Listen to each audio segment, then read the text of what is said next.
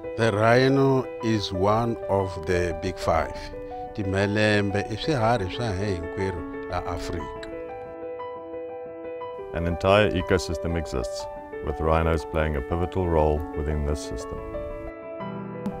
Because I'm welcome so many guests through this gate, I'm able to support and feed my family.